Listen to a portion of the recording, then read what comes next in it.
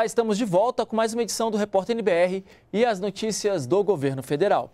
Começa a edição falando de educação. Começam hoje as inscrições para a segunda edição do Sistema de Seleção Unificado SISU, podem se inscrever os candidatos que participaram do Enem 2016 e não zeraram a redação. São quase 52 mil vagas em 63 instituições públicas de ensino superior de todo o país. As inscrições vão até o dia 1 de junho e devem ser feitas exclusivamente pela internet na página sisu.mec.gov.br. E o ministro Torquato Jardim, que estava à frente do Ministério da Transparência, vai comandar o Ministério da Justiça no lugar de Osmar Serralho. Quem traz as informações para a gente é a repórter Mara Kenup, ao vivo direto do Palácio Planalto. Olá, Mara. Olá, Leandro. É isso mesmo, Leandro. O presidente Michel Temer nomeou o jurista e professor Torquato, Torquato Jardim para o comando do Ministério da Justiça e Segurança Pública. Torquato Jardim ocupava o Ministério da Transparência, Fiscalização e Controladoria Geral da União. Ele substitui Osmar Serralho, que ocupava, uh, estava à frente do Ministério da Justiça desde março. E Osmar Serralho foi convidado para ser o ministro da Transparência. Bom, aqui no Palácio do Planalto, o presidente Michel Temer se reúne neste momento com os ministros da Fazenda, Henrique Meirelles, do Planejamento, Diogo Oliveira, e também com o novo presidente do BNDES, Paulo Rabelo.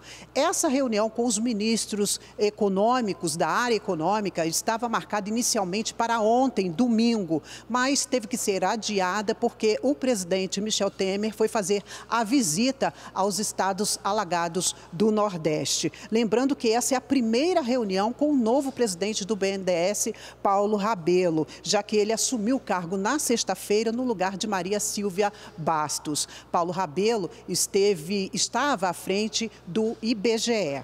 Bom, depois dessa reunião é, do presidente Michel Temer com os ministros da área econômica, vai haver uma outra reunião, dessa vez com os ministros Maurício Quintela, uh, dos Transportes, Portos e Aviação Civil, Moreira Franco, da Secretaria-Geral da Presidência da República e também juntamente com os presidentes da ANAC, José Ricardo, e das empresas uh, vencedoras do leilão de concessão dos aeroportos de Florianópolis, Fortaleza, Porto Alegre e Salvador. Uh, depois dessa reunião, mais tarde, o presidente Michel Temer vai embarcar para São Paulo, onde à noite participa de um jantar com empresários do Fórum de Investimentos Brasil 2017. Volto com você, Leandro. Tá ok, Mara, obrigado pelas suas informações. A gente viu, a Mara citou a visita do presidente Michel Temer ao Nordeste.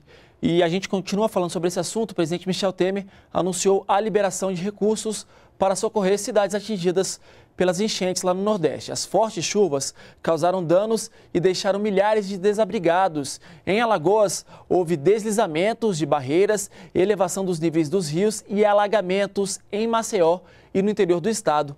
Mais de mil pessoas tiveram que deixar suas casas. Foram registradas quatro mortes e quatro pessoas estão desaparecidas.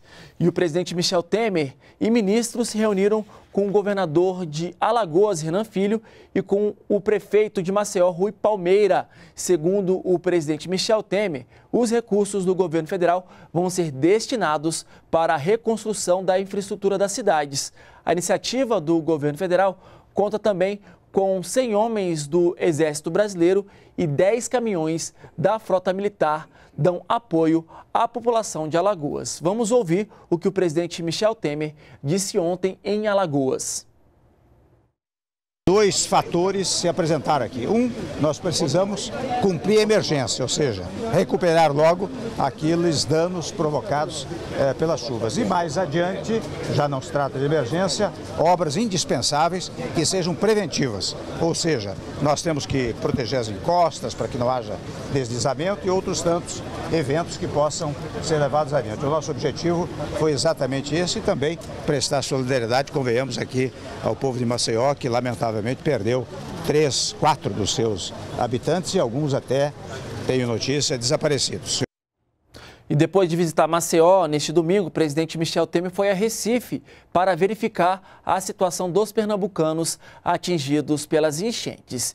Em 15 municípios, são cerca de 30 mil desalojados e desabrigados. Acompanhado por ministros e pelos presidentes da Câmara e do Senado, o presidente Michel Temer prestou solidariedade aos moradores e anunciou apoio federal.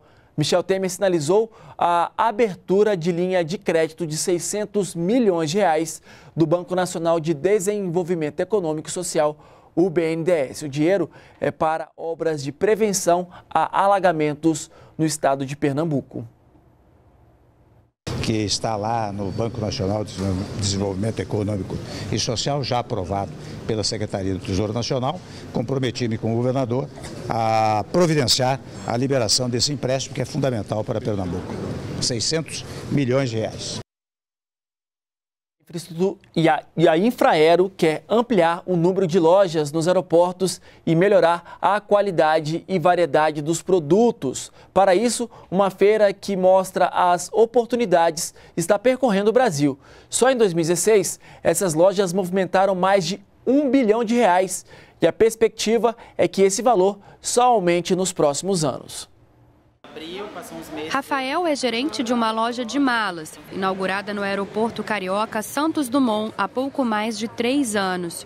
Para ele, um investimento que tem dado certo. O fato de ter uma empresa dentro de um aeroporto é super importante. Na correria do dia a dia, as pessoas acabam que, que meio que esquecem ou não dá tempo de passar em um shopping ou uma loja de rua, então estão no aeroporto e tem, tem o, o aeroshopping, né? E para oferecer ainda mais opções de comércio para passageiros e empresários, a Infraero tem realizado eventos nos principais aeroportos brasileiros desde o final do ano passado.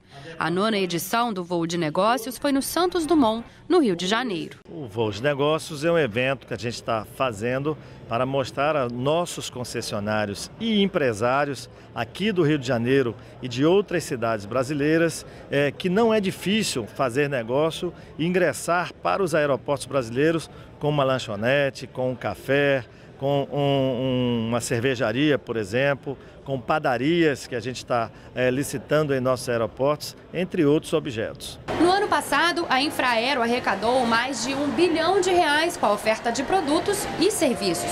Só aqui no Santos Dumont, o faturamento foi de quase 93 milhões de reais e ainda tem muito espaço para ser aproveitado. No Santos Dumont, nós temos uma área de 12 mil metros quadrados instaladas já aqui no, no aeroporto, que poderá ser instalado um futuro hotel. Temos essa área que, tá, que está acontecendo o um evento, que poderá ocorrer aqui a instalação de um museu de uma grande empresa brasileira aqui na, que, que está instalada no Rio de Janeiro. Temos sete áreas para restaurantes, bares e, e, e, lojas. Quem frequenta os aeroportos sabe, na correria do dia a dia, a espera pelo voo pode ser cansativa.